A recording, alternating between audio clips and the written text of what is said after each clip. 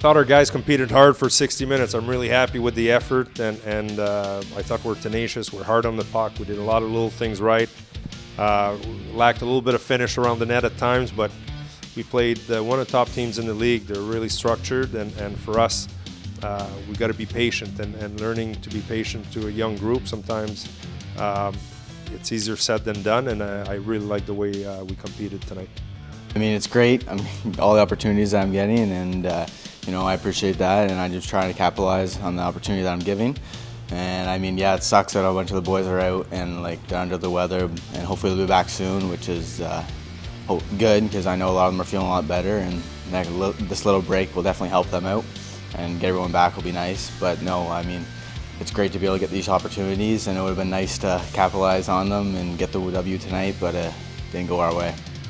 I think it's great minutes. You know, any minutes that uh, our young guys can get and, and be exposed to uh, high caliber hockey, and, and you know, the, the more minutes the better for some of the guys. But at the same time, you you can't give them too much where they can't handle it or manage it. And and with young players playing the in those situations, uh, the downside is going to be the execution, the the mistakes. Uh, uh, you know, them being a little bit over eager at times and and uh, you got to compensate for that, and you got to you got to back them up in, in, some way. And I, I think our D's are there to, to help each help uh, our young forwards, and uh, I thought Jacob did a good job in net too to, to, to back them up. So really happy with the, the way our, our, all our young guys are are playing and developing and con contributing.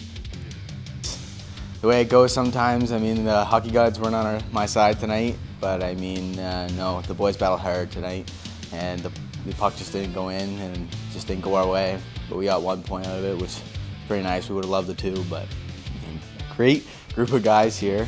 And I mean, it's just a great environment to be around on and off the ice. I mean, every day I come to the rink and I just love it. And all these guys push me to be a better hockey player, and I try to do the same for them. And uh, no, we're growing and we're getting better, and uh, we'll be a strong. We are a strong team, but I feel like we'll be even better here as the season goes on.